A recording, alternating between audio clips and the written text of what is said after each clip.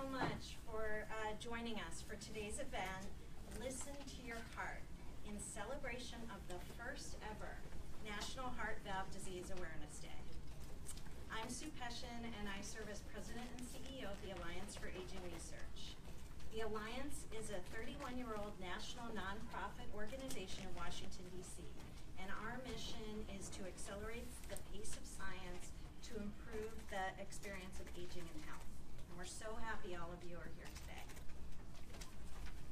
We're also honored to partner with 20 national provider and patient advocacy organizations on this incredible effort, some of whom are here today. Thanks to all of you for your partnership. We know many of you have led the way for years now, and we're excited and honored to join with you to bring even more attention to heart valve disease. Okay, so all of you probably know the heart has four valves, and their job is to keep blood moving in and out of the heart.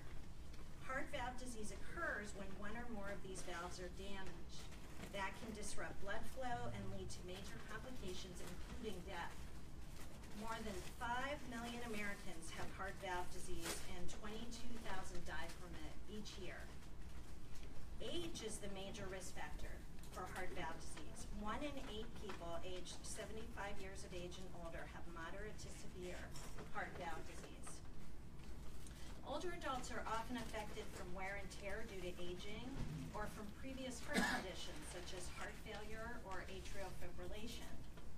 Routine heart checks with a stethoscope sometimes pick up a heart murmur, which can be a telling sign of heart valve disease.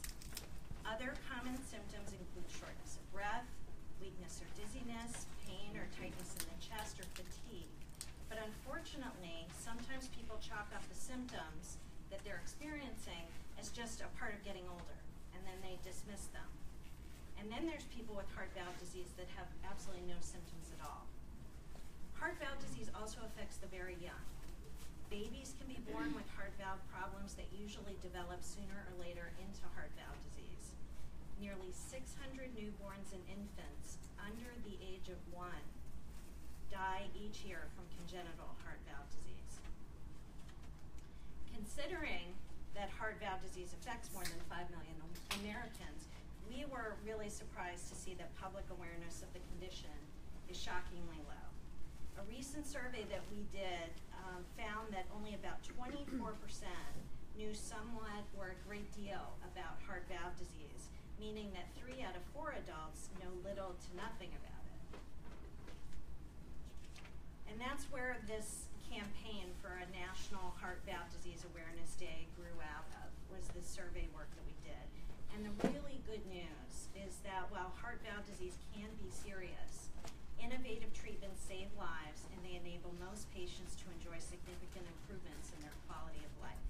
So in this case, we feel like education and awareness have the potential to make a tremendous difference, including actually saving people's lives. We have a lot of materials on our valveddisease.org uh, valvediseaseday.org site. We, we would love it if you would please share the materials with your constituents and your members and your loved ones and anyone that you know that might be interested. We have four key messages for consumers as a part of this campaign. The first is listen to your body. We want folks to know the symptoms and to pay attention if something feels off. The second is to know your risk factors. Remember that age and a previous heart condition can be risk factors. Get your heart checked regularly. Regular visits to the doctor can detect early warning signs such as a heart murmur. Follow-up testing is usually needed to confirm a diagnosis. And the last one, which is what we you know, hope all of you will help us with, is spreading the word and raising awareness. And for spreading a word and raising awareness, especially for those of you who work on house side offices, we would greatly appreciate co-sponsorship of Representative Tony Cardenas's resolution, House Resolution 146, which we are very grateful that he reintroduced this session. And if your office has already co-sponsored it, thank you very much. It's a great way to, to raise some attention to this illness. We also would appreciate it if you would share information about valve disease on your constituent web pages and newsletters, post information on Facebook and Twitter.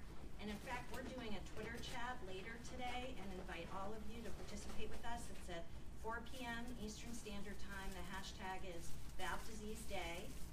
And you can also visit the valvediseaseday.org website for communication toolkits, graphics, and you can also order postcards. We have these great postcards you can put in your local offices, in your offices here as well. And I want to uh, thank very much the Edwards Lifesciences Foundation. The work that we do in this issue wouldn't be possible without their generous support. Um, and we want to thank them very much for their commitment to this effort through their Every Heartbeat Matters program, which is a very inspiring and impactful program. So now I want to introduce our great speakers. Uh, we have full speaker bios in your packets, so I'm not going to read through everything, but I want to give some brief introductions. And I'm going to introduce everybody all together. They'll go in the order in which I introduce you. And then we're going to open it up for questions at the end rather than inter uh, interjecting throughout the whole program.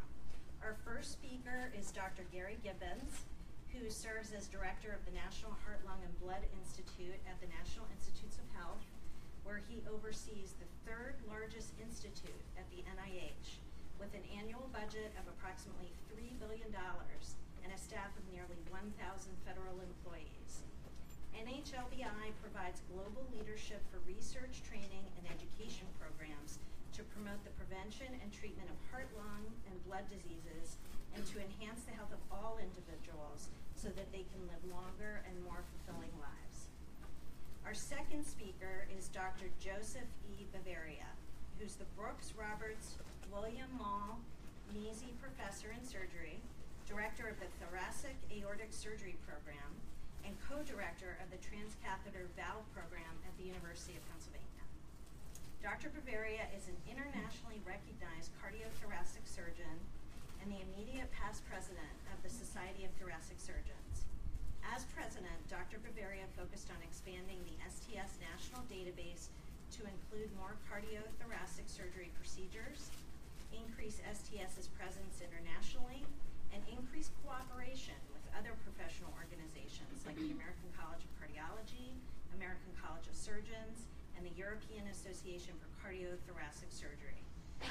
and our third and fourth speakers are Dennis and Ann Dobkowski, who are members of the American Heart Association's Heart Valve Disease Patient Ambassador Program, which works to help others find information and support by sharing personal stories about their experiences. Please join with me to welcome the speakers and Dr. Gibbons.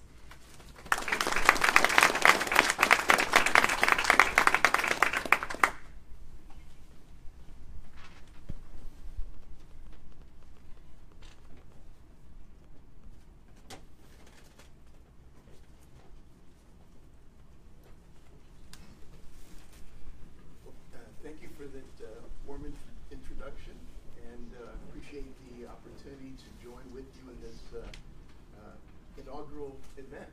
Uh, It's great that, uh, uh, to be here uh, with our partners, uh, both uh, the policymakers that uh, made this possible, uh, some of the private sector support, uh, as well as uh, the Alliance for Aging and uh, your leadership in this, this area. Is embedded within uh, the, the month of February, which is uh, uh, America's Heart Month, in which we're raising awareness about all forms of heart disease. So it's great to have this carve out of this special day to really focus in on valve disease, uh, uh, an area that, I, as I agree with you, uh, often doesn't get the attention it deserves. You did such a great job of, of introducing and providing the background. I can skip through a few slides here because really uh, laid the framework uh, to bring everybody up uh, to speed about uh, those important four uh, elements uh, of the heart and how it works and pumps blood directionally through using this, valve system and an appreciation that it is a very common form of disease that, that has a lot of public health implications, clinical implications, um, that it's uh, has sort of two different flavors, if you will, uh, that congenital um, uh, heart disease that comes uh, as, as part of uh, a, a birth uh, abnormality uh, in which the valve doesn't quite form uh, appropriately during development, and that can have either short-term or longer-term uh, effects on the patient.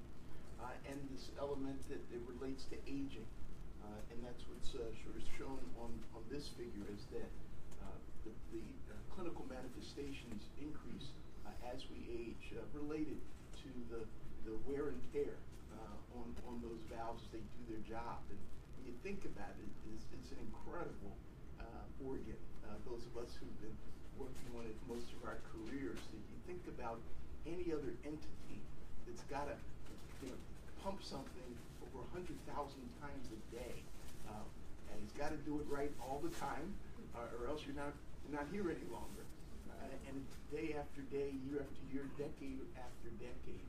Uh, and so it, it wouldn't surprise you, just like you have to replace your shock absorbers or your tires or anything else that uh, undergoes wear and tear, uh, that uh, indeed, after a while, these valves may have a difficult time uh, keeping up. And particularly uh, if uh, there was any small abnormality in how they were formed originally, or if we had a genetic predisposition to them wearing, wearing down quicker. And so that's we're learning more about that wear and tear process uh, as we go. Uh, and in particular, the valves on the left side of the heart, uh, the aortic valve and the mitral valve, uh, uh, that deal with the highest pressures uh, in, in the system, appear to be particularly susceptible to common forms of valve disease. Uh, so this is something that uh, affects a lot of families in this nation, uh, and indeed is an important public health and patient care uh, imperative for us. And so, uh, at the National Heart, Lung, and Blood Institute, uh, our uh, mission is to turn discovery uh, into enhancements in the health of the nation, uh, and making investments in taxpayer dollars uh, to really understand how we could better prevent and treat forms of heart disease like this. And we often go in what I call this virtuous cycle of discovery and translating those discoveries into patient care that has an impact on a given uh, individual.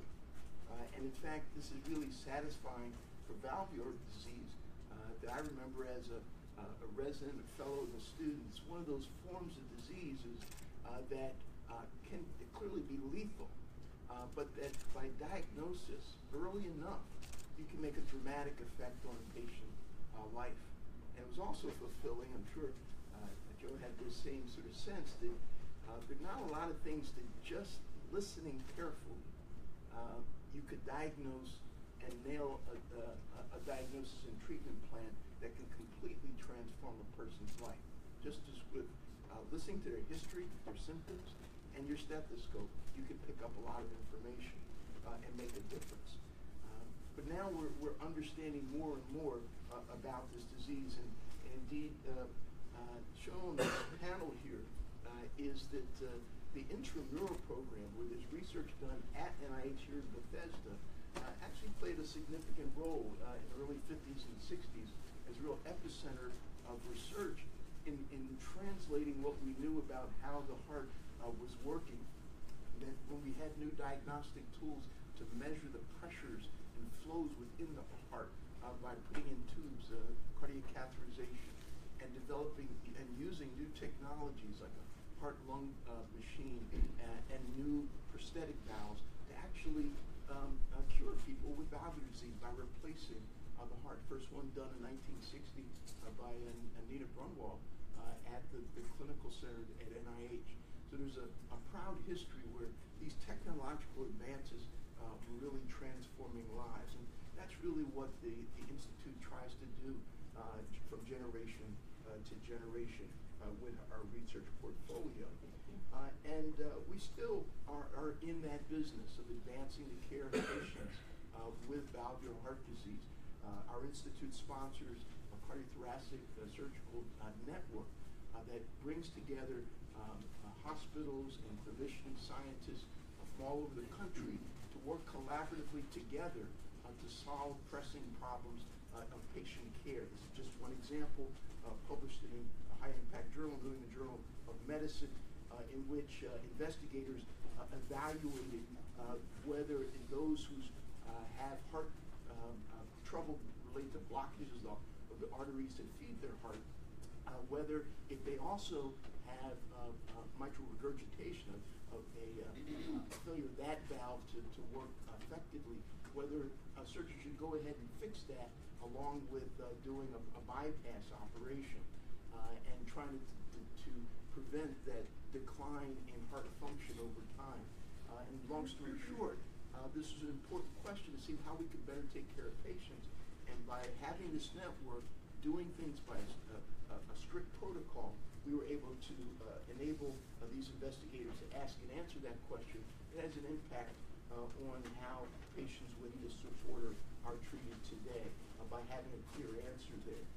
Similarly, uh, uh, we're involved in supporting research uh, that, that evaluate the impact and access to surgery. And this has implications for our policymakers here in the audience, in which, um, as was mentioned, um, the surgical groups and surgical societies are often tracking um, their activities.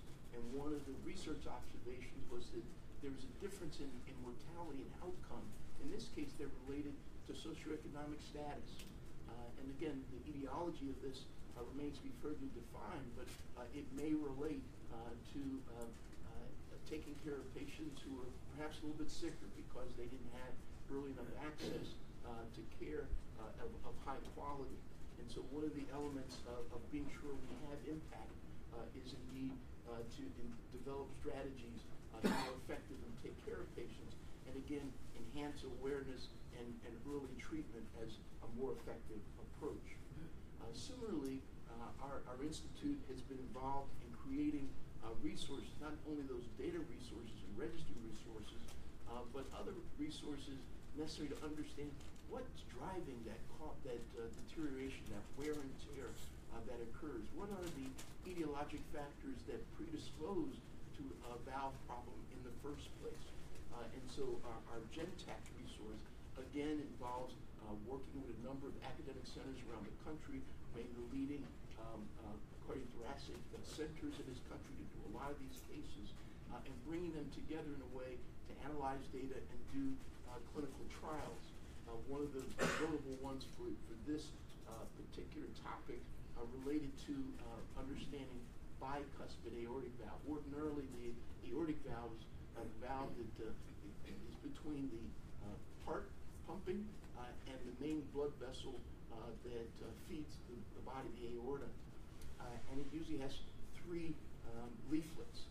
Some people would say that the three leaflets sort of form a Mercedes-Benz sign when they all come together. That helps you visualize. So when it's working well, it forms that, that sort of dimension.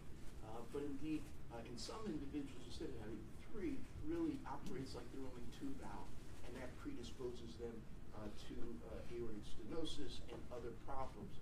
And so understanding um, what might be driving uh, that disease is important. We're also encouraged by research that is leading uh, to, to new imaging and leveraging new imaging technologies that's going to help us assess uh, patients more effectively um, so that when we see a valve that's leaking, it can be assessed in a, in a much more sophisticated way uh, than certainly when I was a fellow, don't know Joe, uh, that uh, we, we can do today uh, with new uh, technology. Uh, in fact, uh, one of the elements is shown in this bottom uh, right-hand corner uh, is illustrative of patients who have a bicuspid uh, valve, where they have two instead of the three uh, functional uh, leaflets, and how that affects the pattern of blood flow uh, as it goes out of the aorta. Uh, and you can kind of see all that color indicating that uh, it, there's a lot of turbulence because that valve doesn't open quite properly.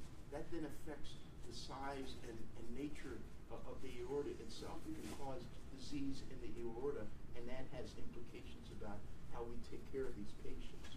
So we're starting to use these new technologies of the 21st century uh, to really advance our ability to care for patients with valve disease. Uh, in addition to those uh, disorders that come out uh, in the late, later decades of, of life, uh, we're also starting very early. Uh, we have what we call our bench to bassinet program, uh, in which we're starting to, to understand uh, congenital heart disease. Because as I indicated to you, some of the challenges you have with valvular heart disease reflects how the, the heart was developed in the womb. And it's an incredible process uh, during development and how these chambers come together and are formed, how the valves form, and we're in, indeed starting to understand the pathways and literally the molecular programs uh, that form the heart. Uh, and in fact, now with new technologies, uh, we can now, for a given individual, sequence your entire genome. And so we can see whether there are uh, uh, abnormalities in that in the letters uh, that, that, are the code of life that tells your body how to, to, to form uh, in utero. And so uh, by doing this, we can now examine whether there is a, a misspelling in the code uh, that causes a defect in the formation of your heart. And those studies are, are underway in that study. So we, are now discovering the particular mutations that can occur that then can cause an abnormally structured heart uh, that then would enable us to predict what might happen that individual as they age. So we're excited about some of the unprecedented opportunities for new technologies to actually predict who's most likely uh, to develop uh, valvular heart disease uh, as time goes on.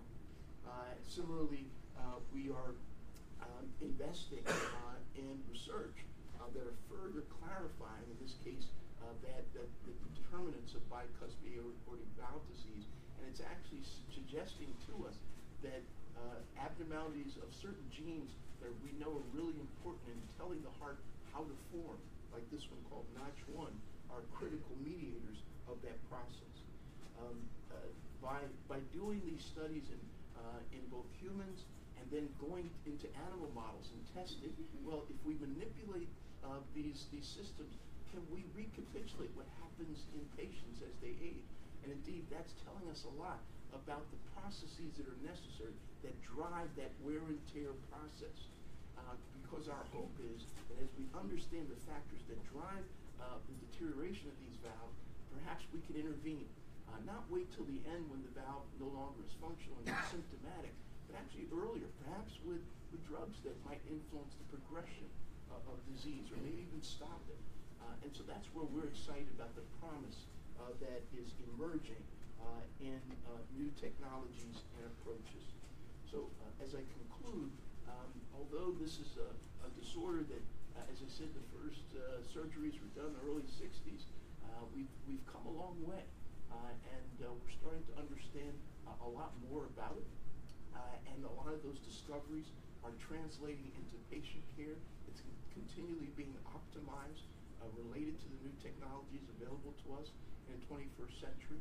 Uh, and indeed, um, if, if uh, today, uh, this is a, a, process that, with all due respect to my surgical colleagues, some of us cardiologists are getting in on the fun uh, and uh, indeed uh, developing interventional strategies to to do valve valve interventions like this one, TAVR, by um, a, a non uh, surgical approach where you know you don't have a zipper uh, in the front of your chest anymore, uh, like they had to do in the 1960s. And uh, if I might be audacious here uh, as well, one of the things that we think that might even be on the horizon is that uh, maybe instead of using a, a cadaver or a pig, um, that actually research are starting to move forward that um, a piece of your skin actually has the, the information in it uh, to turn into any other cell in the body. Uh, indeed, uh, we, we think we're on the threshold uh, in the coming decades uh, of tissue engineering to actually see if we can engineer elements of the heart. even indeed, a beating heart can be done with, with mouse cells in this way. and so the, the time may come when indeed you can have a biological prosthesis that's generated from an adult's own stem cells and what we're able to do with that. That's a ways off, but just to tell you uh, that this is part of what uh, our institute's involved in, in promoting discovery science that we hope will transform the lives of patients uh, both now and in the future. Uh, in order to do that and fulfill our mission, uh, we can only do that uh, as part of a, a, circle of partners. And that's why we appreciate working with the Alliance for Aging and, private sector policymakers, because collectively we can do uh, what I think uh, the American people expect us to do uh, for common disorders that debilitating and disabling, uh, to see how we can more effectively um, anticipate, predict, prevent, intervene to enhance their lives. Thank you for your attention.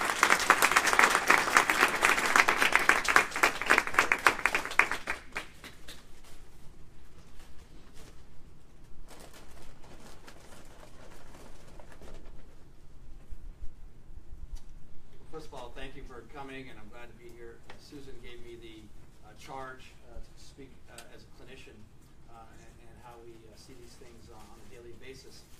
Uh, and I just want to uh, say regarding Gary's uh, work at the NIH, um, it's truly incredibly important stuff. Uh, and uh, we, uh, myself personally, are uh, have been heavily involved with GenTAC and the Clinical Trials Network for cardiac surgery. Both of them have been incredible studies. And, um, I just want to congratulate you on, on you know, making that possible. A lot of big, important questions regarding heart valve disease were answered by both those studies, uh, or both those long-term uh, uh, trials. So, uh, what is the clinical state of heart valve disease? I, this is going to be a little bit of a TED talk with mostly just lots of pictures uh, and um, uh, not a whole lot of data. So it's kind of the opposite of what we do at the, at the meetings. Uh, but the first, as you can see, there's four heart valves, but really there are only two important heart valves, uh, especially in adults. Uh, there's the other heart, the right side of heart valve is very important in congenital heart surgery, but in, in adults, there's really the aortic valve, which is right in the middle of the, of the heart, and then the uh, mitral valve, which is actually in the back of the heart. And you can see that there's two atrioventricular valves, they're kind of similar looking, and two semilunar valves. Uh, and this is about uh, how, how we're made uh, in utero. Um, this is a, a picture, and it was supposed to run. I, I don't know if it's yeah, there it is. Starting. To, this is a pretty old computer. I'm, I hope I can run through these megabytes through this processor. Uh, but the uh, what you want to see in this picture, if I can get the oh, there we are, is that this is the order. This is an echocardiogram looking at kind of the heart working in in in, in in real in real life, so to speak. This is the aortic valve. It's pretty normal aortic valve. This is the, the atrium. This is the aorta. Here's the main pumping chamber. Here's the mitral valve. Uh, and um, what you can see is that these valves kind of work work together. They're a little bit uh, connected uh, in, in a certain extent, right right about here. Uh, and in this case, which we'll talk about a little later, the mitral valve is very is uh, leaking very significantly. The, the whole point of this slide, though, is that we can get very very good images uh, and understand pretty much what's going on with the heart from high level uh, echocardiography. Now, I thought you'd like to do a picture uh, of that Mercedes sign we were just talking about. It's very rare uh, in a live human being uh, for us to actually get a picture uh, of a very uh, perfectly normal uh, aortic valve. Uh, and um, so, you know, if you go to the cadaver lab, you can do it, but that's that's not quite the same um, because we never really operate on normal valves. You know, you don't really see them. So, but this is the case where there's an aneurysm as a primary problem, and we want to save these aortic valves. So, the only point was to show you exactly what these things look like. They're very thin, beautiful leaflets. There's your Mercedes sign. We're saving this valve, uh, and we're uh, kind of creating a, an aortic root around it. But that's irrelevant to this picture.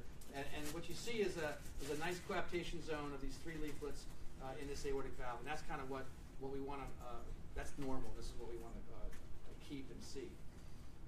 Now, the, the first condition that's important is aortic stenosis. So this is the most common. Actually, this is actually the second most common condition, but it's probably one of the more important conditions which is the aortic stenosis. This is a calcified valve. Remember that one I just showed you back there? Keep on referring that in your head.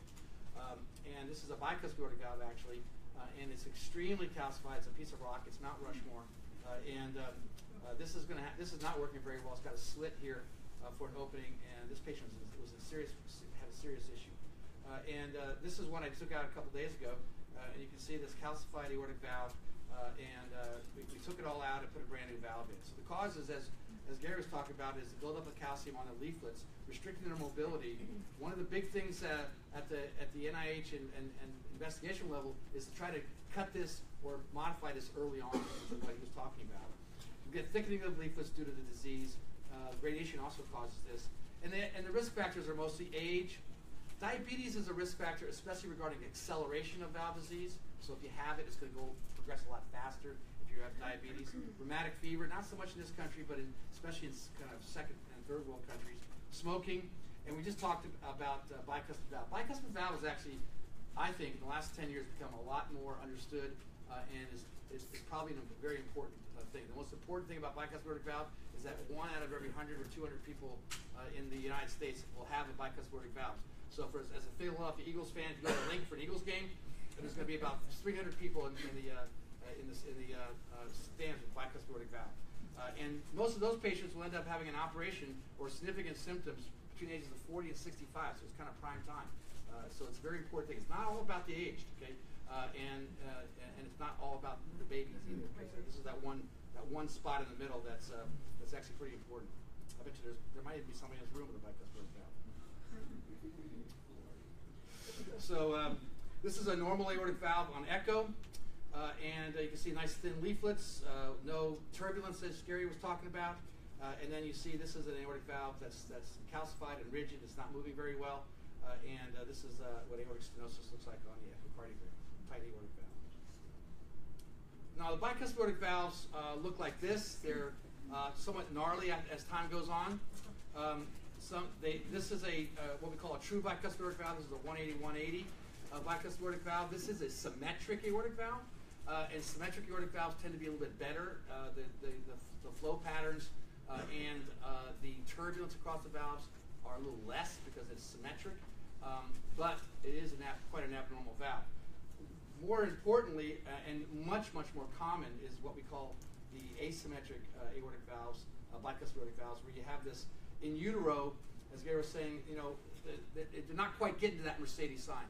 Uh, the, the embryology is such that they're trying to, so to speak, but they ended up having this kind of uh, uh, raphe, we call it, or, or, or partial uh, uh, commissure. So there's only two real commissures, but there's that third one just doesn't form and it fuses together.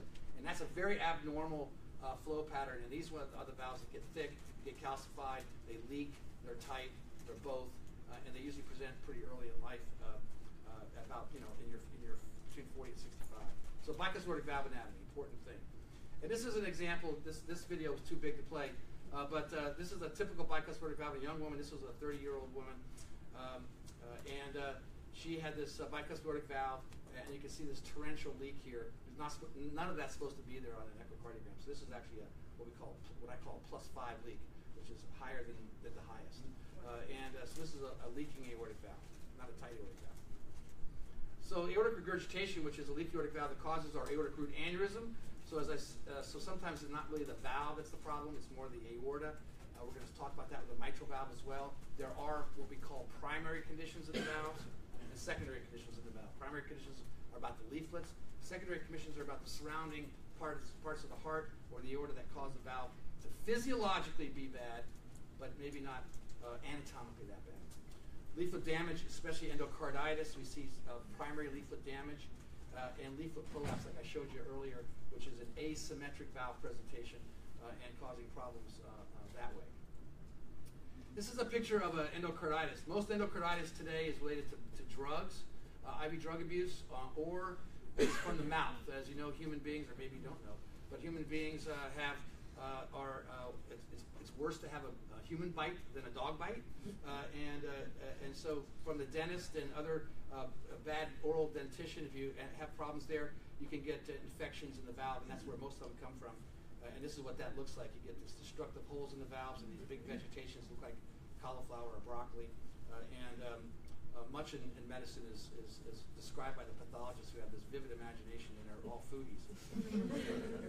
um, this is a uh, this is a, a, valve that is bad or abnormal with a big leak because of an aneurysm. So here's an aorta here. And you see this large aneurysm. This is actually only a 30-year-old uh, uh, young man you have a large aneurysm here, and you can see that this valve uh, just doesn't uh, isn't able to open, um, isn't able to close because it's so stretched. Uh, and this is what you see from an aneurysm kind of case. Now the mitral valve is uh, uh, is a very important valve. So the aortic valve the mitral valve are the most important valves. The mitral valve is the inflow valve of the heart. The aortic valve is the outflow valve of the heart. Okay, it's like pump 101. You cannot function. The pump can't function very well unless you have a, a normally functioning inflow and outflow valve. Uh, and, um, and, as Gary said, this is the high pressure chamber. This is the chamber that has six times more load uh, than the right side. So the right side is not uh, that important in adults anyway compared to the left side. So the mitral valve is a hugely important valve. What happens here is you get this valve, this mitral valve, uh, which is a parachute concept. Okay, uh, and um, it has cords. It has two two packs, just like a parachute guy, uh, and all these cords coming down from the leaflets. And the leaflets open up, which actually means they're closed to air, closed to blood. Uh, and uh, that's how this thing works every second in your body. It's open, go, and, and it stops because of these cords. Uh, and just like a parachute guy, what jumps out of an airplane, if those cords aren't intact, you got a big problem. Okay, uh, and uh, so in, in, this case, what happens? You get a big leak, or if the heart gets enla- enlarged, which happens from a lot of different cardiac diseases, the valve, which is perfectly normal leaflet structures, gets leaky because it just can't close uh, because because everything's too stretched out. And this is what happens when you have heart failure as the primary. So we get a little bit of chicken and an egg here. Many, many, many times the valve causes heart failure. But a lot of times heart failure causes the valve disease. So it goes both ways. And that's why diagnosis and, and, and uh, imaging are so important to figure that out. Um, and doctors, good doctors. So here's uh, what happens here. You've, you've got a large heart and it's stretching the valve, and the valve just simply can't close. And this is mitral valve regurgitation, which actually is the most common uh, valvular lesion of all. Uh, is mitral valve regurgitation, even more common than aortic stenosis. Um, it's not treated as much with surgery uh, or replacement, and it's treated mostly medically, but it is the most common one. And this is the same picture, but I just to show this, this uh, exactly what I just said. This is a severe leak of the mitral valve. Uh, there's not supposed to be any of that mosaic, uh, and this is a, a, mitral valve that's stretched out and not closing, and this causes a, an extreme inefficiency on the pumping mechanism. Okay, uh, and eventually that this causes heart failure uh, to a very significant uh, degree. Now this is a mitral valve regurgitation, uh, looking at the imaging, which is a, which is the opposite problem. So this is a pretty good heart, not a bad aortic valve here. But what you can see here, if you look at the mitral valve leaflet, is is that, as I just said about the parachute guy, the cords are snapped. So this is what happens when the mitral valve does not have its chordal structures, and you get this leaflet that's kind of flailing up into the into the heart and kind of all over the place. Okay, uh, and uh, uh, so and you can see what happened here. You get this big leak, which is an eccentric leak, uh, swirling around in the in the heart in the heart chambers. And this is a this gets into what Gary was talking. This is a a new imaging we have, which is these 3D echoes. We even have 4D echoes. That's one of the things he showed. Uh, and uh, this is very, very uh, good, good, imaging that shows us a lot of stuff that we can figure out. Can we repair the valve? Can we not repair the valve? Exactly what the anatomy of the, of the leak is. What's the physiology of the leak? It's pretty amazing. This is a 3D echo of the same, same one. So other causes of heart valve disease, besides the two big ones I've said, which is the aortic valve and the mitral valve, uh, and uh, primary and secondary uh, lesions, is congenital heart disease. Now, most of the time, congenital heart disease, as was saying, is on the pulmonary side. Not all the time, uh, but but a lot of the times, uh, and uh, which is the which is the pumping chamber that pumps to the lungs. And this is an example of pulmonary stenosis. There's tons of examples. I don't need to go through all of them, but this is the and, and they're kind of all they're actually all related in a continuum of congenital heart defects. That's kind of the Norwood approach to life. Uh, but the pulmonary stenosis is is uh, one of them. It's, it's in a tetra. You might have heard of tetralogy of Fallot. It's in it's in that category. Another reason for aortic valve disease in a secondary area is, is a cat- catastrophe known as aortic dissection. So when you have an aortic dissection, what happens is, which is a hypertensive problem or a problem with your aortic wall primarily, which is like one of the one of the uh, conditions such as Marfan's or even bicuspid valve, uh, where the aorta is the problem, uh, and it's it basically delaminates. Okay, it becomes a baklava. Okay, and you end up getting these. Uh, you get these. Uh, uh, the whole aortic wall delaminates this is a disaster. And a lot of times it's, it's, it's lethal. But when we get to it, we can actually repair these valves because they completely lose their they completely lose their uh, their ability to, to stay functional uh, because they don't have any mooring, they don't have any place to, to, attach to. But we can we can repair these in the operating room and, and create uh, a normal valve uh, function from this. So it's pretty pretty interesting. So this is an, another aortic valve presentation that's not quite in the in the front frontal lobes of most everybody uh, uh, out there. Um, mitral valve stenosis is actually not that common in the U.S. Uh, it's not that common in, in, first world countries such as Europe or Australia or other places, Japan, but it's actually really common in, uh, in, in, the world. Okay? In fact, it may be the most common uh, uh lesion in the entire world. Uh, in the, in, the, U.S. at this point, most of the patients I operate on for mitral valve stenosis are uh, from Eastern Europe, from Russia, primary immigrants or primary immigrants from the from the um, uh, from the uh, like from Jamaica or from some of the uh, Caribbean nations, or from Latin America, or from Africa, uh, and, and also Thailand and Cambodia and, and Vietnam. So those places there's still lots of of, of, uh, of uh, rheumatic disease, but but not in the first world countries. But it does require replacement because the valve gets tight, it gets completely calcified and thick, and is, a, is, is so you can imagine it's like a big dam inside the heart. It's a big problem. Symptoms and natural history. This was this went this was uh, Susan went over this real quick, but most of it is all, the symptoms of heart failure. So fatigue, shortness of breath, etc. But the final common pathway that one must always remember is that it's heart failure. It, go, it, it gets into the symptoms of heart failure. One of the things that we've that we've done, this is that only kind of, uh, of, of a slide I'm showing that's that's medical, uh, is that over the last 40 years or so, we've actually done very well and have improved our medical management of, of valve disease during the period prior to any intervention. Uh, this is from Ross and Braunwald in the late 60s and shows that valvular, heart disease is kind of interesting.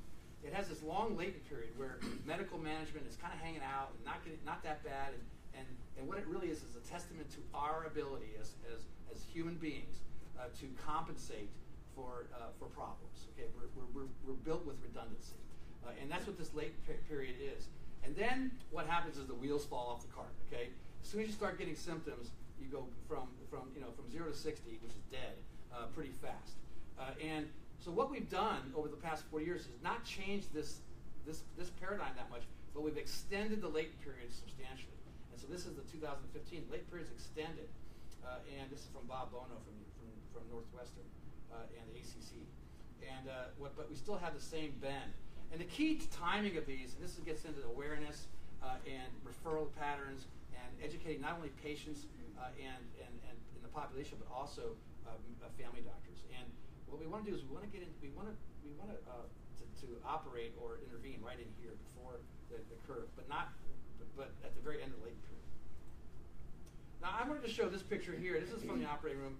Is that again? This is symptoms. So this is a really leaky aortic valve. Okay, so this is kind of a this is a this is a picture into the sanctuary. Okay, uh, and uh, the the fact of the matter is is that this is what's called a water hammer pulse. So all the medical students know about this, and it's it's, it's when you have a really leaky valve and your whole body starts pulsating. Okay, uh, and uh, you can see this dramatically in, the, in this picture. And this guy had like the worst aortic valve insufficiency you can get, uh, and you can see that he's just and, and if you were to put, put a finger on his pulse, it would just jump out at you. This slide was shown by Gary, so I don't want to go into it anymore. But the bottom line is that if you look at all heart valve disease, especially as we age, which is why one of the reasons why we're here, um, uh, it is it's going to re- represent somewhere in 10 to 14 percent of the population, at, at between 65 or 75. What is interesting to me, and this may be the bicuspid situation, is that it starts to take off at about 55, and so you wonder why that that that, that cusp is right there. And I think this is where the most of the the bicuspids are just starting. To, that's the first valvular heart disease that, that's uh, present in, in, in human population. Um, the other the other thing is is that from the population studies is that there's a, I think there's a great un, uh, awareness or not aware, especially in the aging populations, that when you if you're 65 or 70, you have a long time to live in this country. Okay, uh, and and this is from the 2005 data. The 2015 data for the 2010 census is, is, is even better than this. I think for 70, it's up to like 17.9 years now. Uh, and uh, so, in other words, if you make it to 70, you have a long time to live. Uh, and we, have, we need to know that. So we can't have any age discrimination uh, regarding uh, treatment. That's the big, that's the big thing. Um, its cost, the bottom line is, this was also shown a little bit earlier, the, the cost to taxpayers of having valve disease is about $10,000 per patient, extra over what the normal person would be. So it is a, it, it is a, a problem, not just clinically, but also um, also from a standpoint of policy and money. Treatment options, real quickly. The first one is aortic valve replacement. This is a typical uh, tissue aortic valve. What we do is we open up the aorta, open up the chest, and this patient put in a new aortic valve, take out the old one, size it up just right, and it's it's a nice nice operation. Here's another typical valve uh, from two different companies, but they uh, uh, tissue. This is, these are bovine tissue valves. From the STS National Database of over 100,000 patients, it's up to over 250,000 now. This was a couple of years ago that the uh, cardiac surgeons in the United States are doing very, very well, uh, improving outcomes in aortic valve replacement and heart valve disease. Okay? Every year it gets better and better, and it's now down about two percent, even uh, uh, uh, ten years later. Besides replacement, We always try to repair valves if we can. So both the mitral valve and the aortic valve, if we can repair these valves, we should always do that. Uh, and this is just an example of the reparative option uh, versus the uh, versus the replacement option. And here's a repair of the mitral valve. As you can see, we have this problem with the closure, so we put in this rigid ring, which which just tightens it up. And if there's a leaflet issue, like I showed before with the with the cords, then we can make that all equal and and, and symmetric. And that's a mitral, mitral, mitral valve repair. The radical and revolutionary new technology is, is the transcatheter heart valve revolution, which started uh, in the middle of the of, uh, 2000s. Um, this is an example of, of, of, a couple of the transcatheter aortic valves. This is a reparative device for, for mitral valves, and this is the new uh, one of many uh, transcatheter mitral valve replacements, which is still in early feasibility trials at the FDA. is not available in the United States uh, at this time or anywhere. but this is kind of the, new cool stuff that's coming down the pipe uh, and is really is really going to be the future of heart valve therapy uh, in the future. Um, this, along with reparative techniques, uh, no one will no one wants to have a valve in them if they can get repaired. Um, this is kind of the epiphany uh, for me, anyway. I just wanted to show you guys what a transcatheter heart valve really really is like. Um, so this is in the operating room, and we put this uh, through the uh, through the groin, through the through the femoral artery, snake it around up into the chest and all the way around to the heart. This is looped inside the heart, uh, and we have a pacemaking wire. We have a TE probe uh, in, so we can see what we're doing not only on the on the, on the X-ray but also on the echo all at the same time. So you've got to be like a video guy, uh, looking at everything. Uh, I'm sure my son would be very good at this. Uh, and um, so uh, this is kind of what, what that looks like because it's pretty it's pretty revolutionary, and, and, and one has to kind of see it to kind of really feel it. This is the transapical, the same same concept, but through another incision. Publications, as Gary said, have been published in the New England Journal of Medicine. It's a very well studied uh, procedure uh, and uh, is, is going to be going to be continuing to, to improve. The two approved TAVR valves are really different technologies on different platforms. This is what's called a self-expandable platform. Uh, the, the stent and the valve come out, and, and there's a continual radial force. So that's one whole way of thinking about it. And then there's the balloon expandable, like you saw in that picture, which is the other major platform, is a balloon expandable transcatheter or transcatheter valve. So both of them are alive and well, uh, and uh, and probably complementary technologies. so, in summary, heart valve disease is a very significant health issue. Most of the natural history result in death from heart failure. The good news is that cardiac surgeons and cardiologists, with innovative industry partners, have developed lots of very robust and dramatically uh, improved treatment options. Diagnosis has improved substantially with imaging, especially. There are many new and less invasive treatments being developed right now as we speak. Uh, and patient access and guideline-directed management still need continuous improvement. Thank you.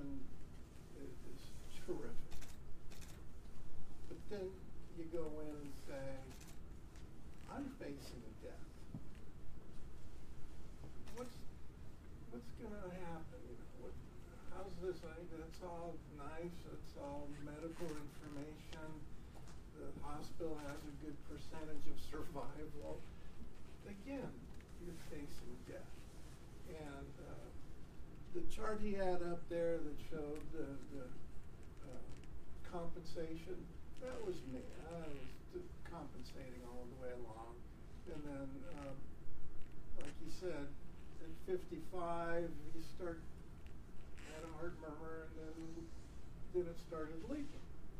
It wasn't a big problem. After that, leaking was getting a little worse. We got to come in a little more often every six months.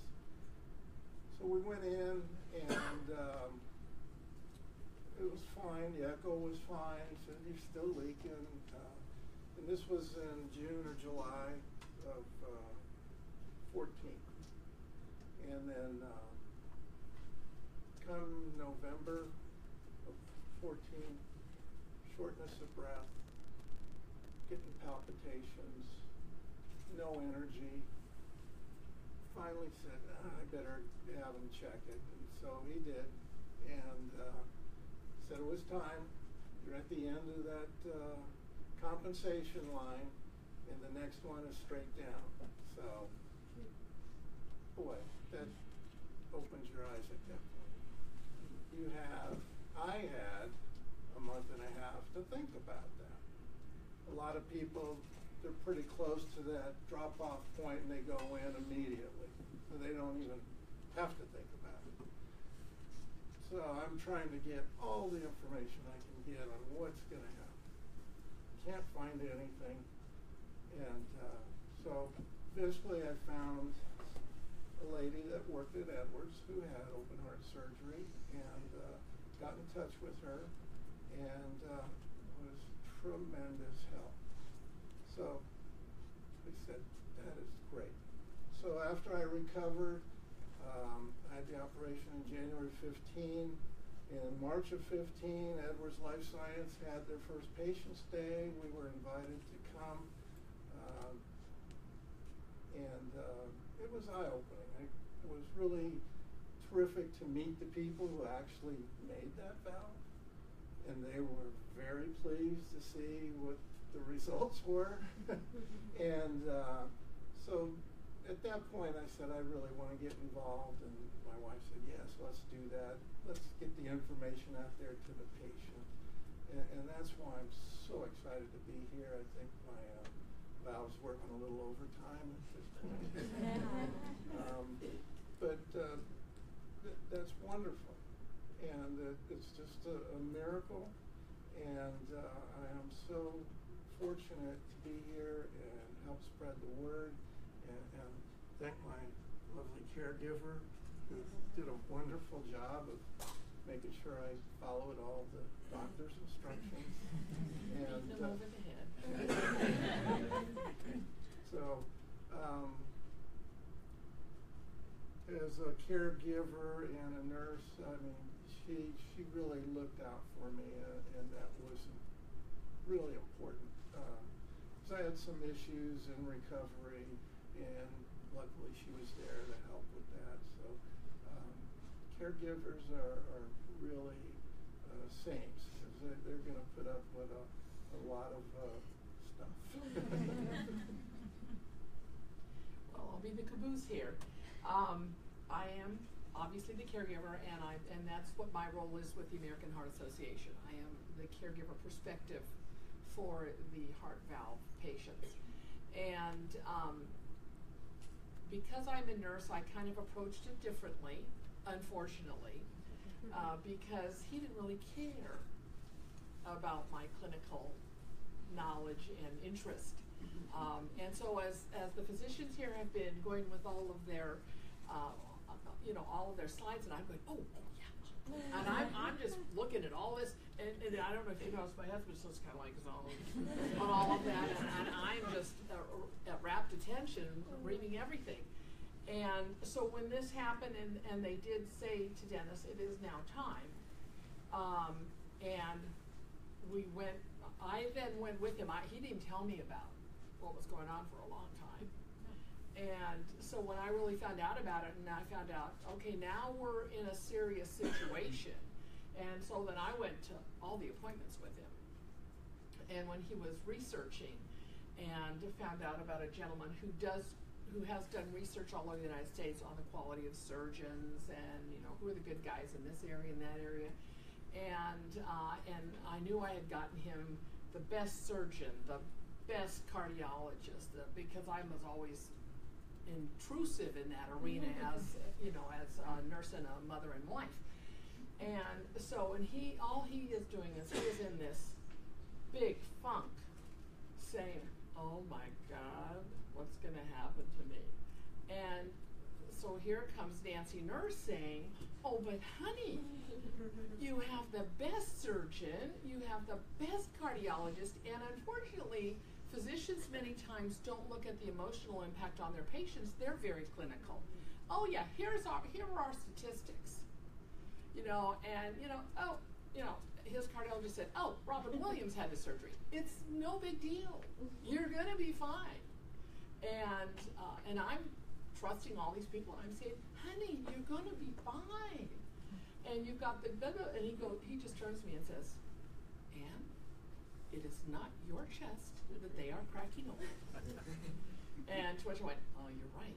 And so finally, I backed off and I said, "Okay, honey. Obviously, I am not saying anything that is helpful. So, you tell me how I can help you." And that's where caregivers have to come from.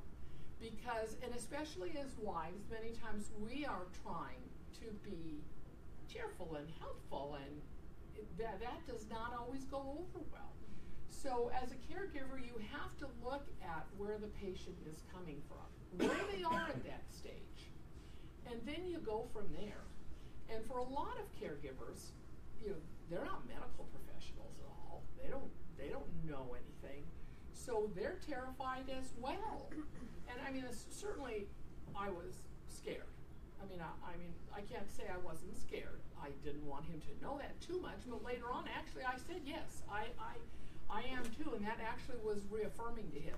You know, like I was taking this seriously. But when you don't have that medical knowledge, it is even scarier.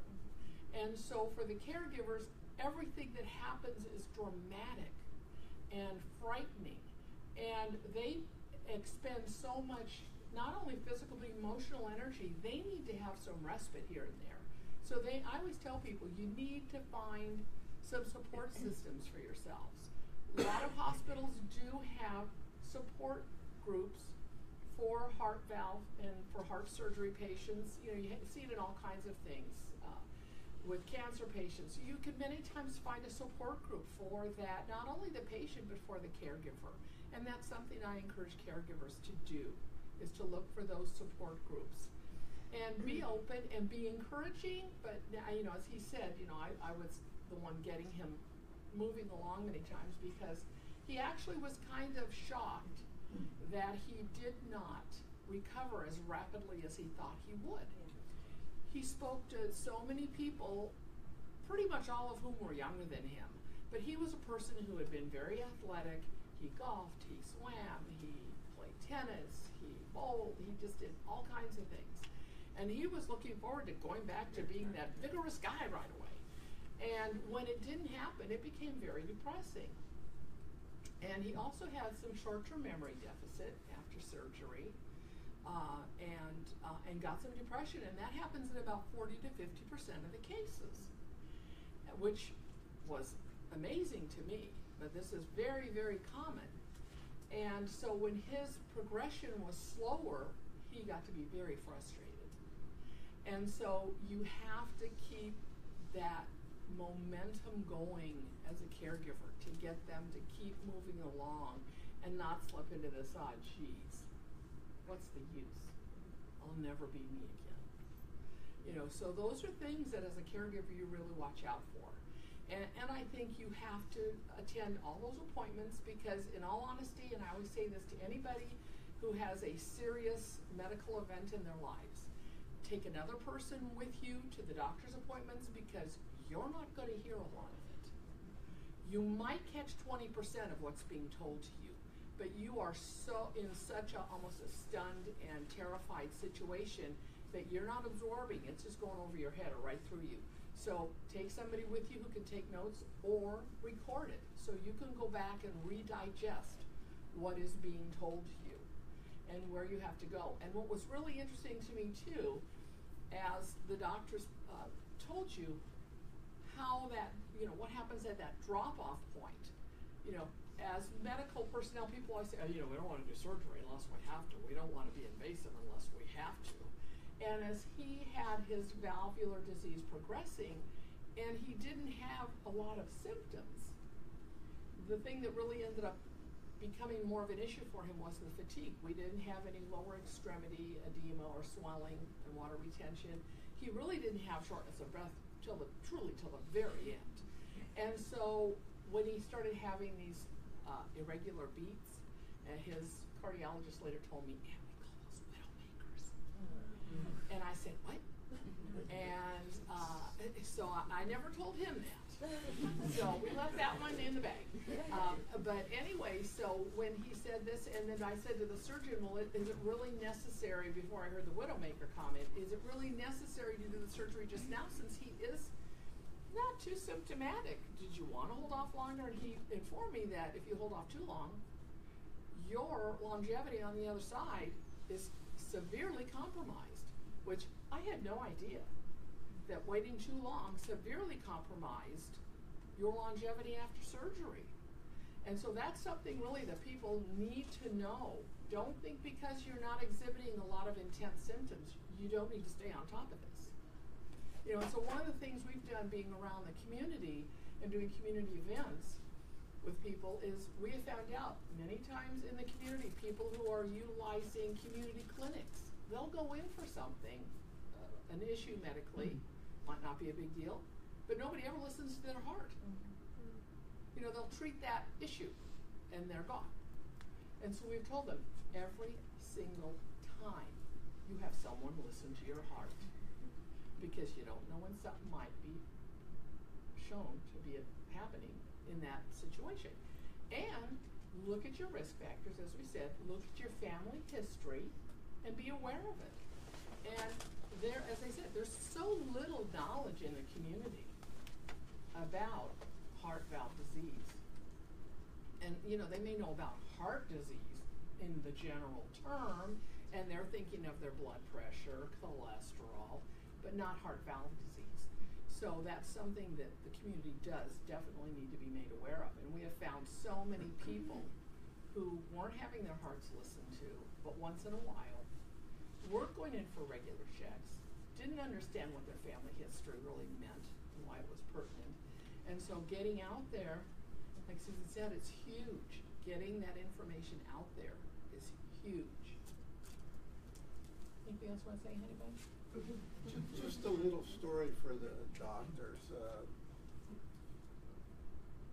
Cardiologist goes in to get his car repaired and the mechanic says, I don't know how come you make so much money, cause I take your engine apart, I do the valves, I do the spark plugs, I get it running and I do all the timing and, you know, it's all done, but you're making ten times the amount of money I am. Cardiologist turned to him and said, I do it with the engine running. Thank you very much.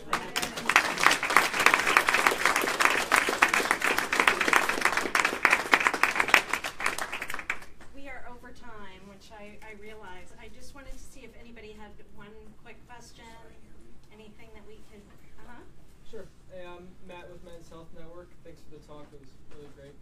Uh, I wanted to know a little bit more about the epidemiology of uh, heart valve disease. Uh, what other, is there a specific gender or race or ethnicity that are particular risks for this disease? Yeah, no, it, it's a, uh common disorder. Um, as we said, that there's a age-related rise Mhm. uh, with over uh, 10 to 12 percent uh, of the population uh, when you're getting into your 65, uh, 70s.